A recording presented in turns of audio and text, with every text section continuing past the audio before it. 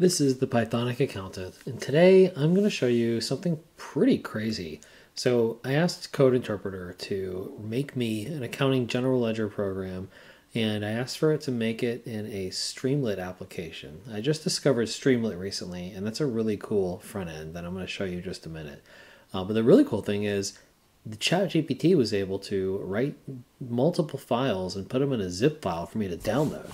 So I'll run through what I asked it to do. So I asked for a simple accounting general ledger reporting tool in Streamlit. Give me a zip file, and it said, of course, here's what I'm going to do. Do the setup, input form, display, and reports. Here's the step-by-step implementation it's going to take. That's awesome. And it uh, finished it all, and it gave me uh, some files for me to download. And I uh, downloaded it and ran it, but I had a, an issue. And so I gave it the issue and ChatGPT corrected it. I downloaded the new one. It was actually pretty good, but I had some feedback. I said, okay, account balances are repeating themselves. And instead of having to select the debit and credit each time for the GL, maybe I can do some business events like recording a sale and collecting a receivable. And so what it did was it implemented those and it gave me a couple of business events. It only gave me two options, but you know, hey, this is just a demo. This is good enough for now. Maybe I'll add more later and it has uh, downloaded the uh, I've downloaded the file. So now what I'm going to do is show you. So I've already got it running. Um, all I had to do is just you know hit run.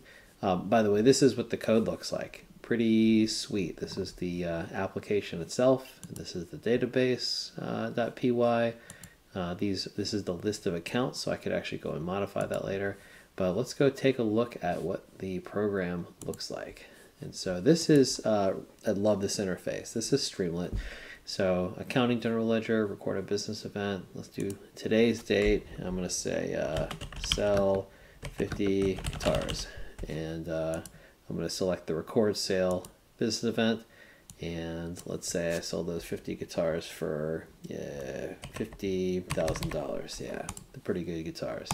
Record event and cool. So it recorded a ledger entry to sell 50 guitars and it debited accounts receivable, credited sales, amount of $50,000. That's right. And check it out. My trial balance below has accounts receivable of 50,000, sales of 50,000.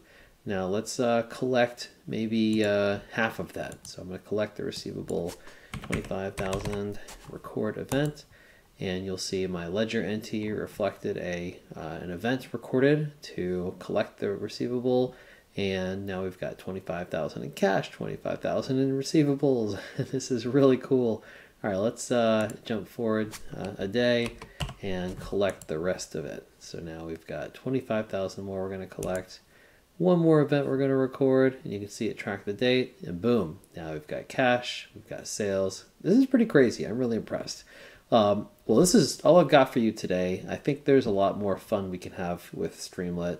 A lot more fun we can have now that I know ChatGPT can write us these crazy, impressive working applications.